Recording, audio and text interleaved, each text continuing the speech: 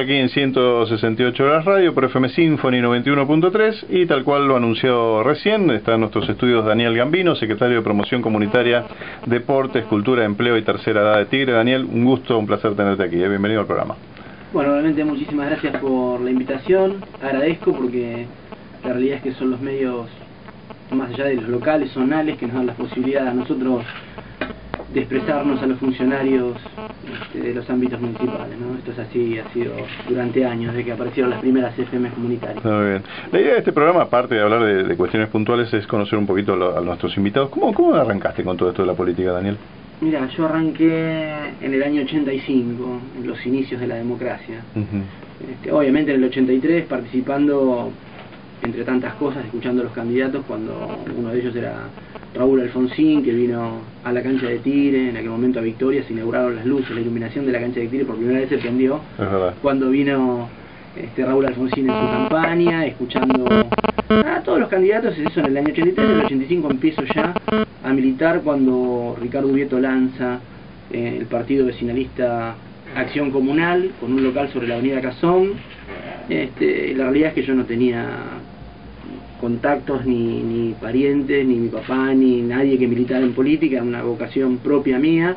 No lo conocía a personalmente. O sea, me arrimé ese local y empecé a, a militar, ¿no? O sea, a pegar carteles, dije, ¿con qué puedo colaborar? Y me dijeron, bueno, vení.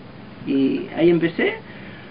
En el año 85 se ganan las elecciones con acción comunal. En el 87 se gana el municipio, donde en aquel momento se le ganó a los dos partidos mayoritarios, sumando los votos del justicialismo y del radicalismo, no, no le ganaban ni siquiera los dos juntos a Acción Comunal. Empieza una gestión de gobierno, la cual yo no, no arranco hasta el año 89, yo trabajaba en aquel momento en Astarza, los astilleros muy grandes que habían en Tigre, y la idea era, digamos, militar para que Ubieto fuera intendente, ¿no? yo no necesitaba el trabajo. Mi criterio en esa época era, digamos, si todos nos colgamos de los fundillos de Ubieto, ¿qué hacemos con el municipio?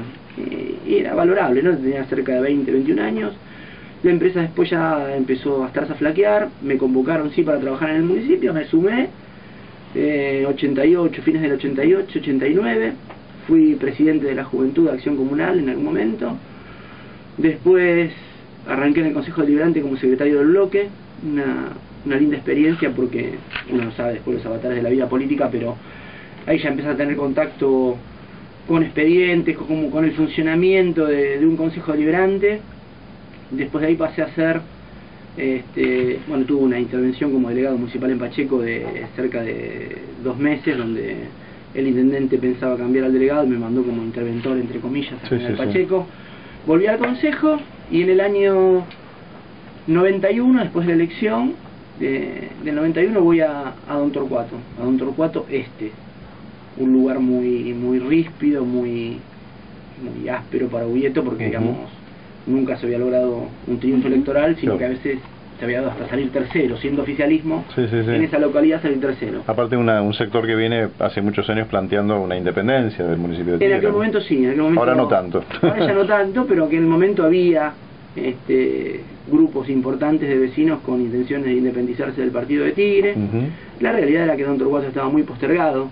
Tigre es un, partido grande y yo digo que quien no va a Don Torcuato no pasa a ver, me refiero dentro del distrito, ¿no? Sí, sí, o sea, es un extremo. Siempre sabemos que Panamericana divide, porque esto es una realidad. En todos los municipios. En todos los municipios Panamericana divide. Y esto, bueno, estando en un extremo del partido de Tigre, quien no va de un trocuato no pasa. Porque vos salís de Tigre y para ir a, Talar pasás por Troncos y pasás por Pacheco. Y si vas a Benavides pasás por Rincón y pasás por... En cambio de un trocuato no pasás y no vas. Era difícil, otra época donde, bueno, los recursos no abundaban. Este, desde las máquinas viales hasta el combustible. Imagínate que cuando yo empiezo en esa delegación no tenía teléfono. Hmm, o sea, yo era el delegado municipal y tenía que ir a la farmacia que estaba en la esquina con una moneda a hablar por el teléfono público por las cuestiones institucionales, ¿no? Este, realmente era, era una realidad dura.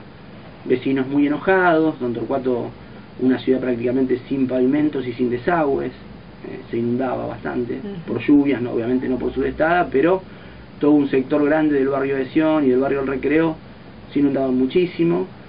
Y bueno, todo esto se fue revirtiendo, ¿no? Este, Fueron, pudiste decir, llevando obras a Don Torcuato. Sin lugar a dudas, sin lugar a dudas. Digamos que con mucha vocación traté de ser el interlocutor entre los vecinos y el intendente, este, en cuanto a, a, los requerimientos de obra pública, esas cosas ¿no? que tiene la política, tratar después de, qué sé yo, cosas chiquitas, pero este, amerita por ahí contarlas, que te arreglen tu máquina primero, ir al corralón, pagar un asado, que te arreglen tu máquina primero, para poder dar respuesta a los vecinos, este, una delegación que ya te digo era un local, o sea, no había oficina privada del delegado, el delegado estaba junto a los, a los empleados, a la cajera que cobraba, o sea que no había manera de, venían 100 vecinos, había que atender a los 100 vecinos, y esto realmente fue una experiencia... Eh,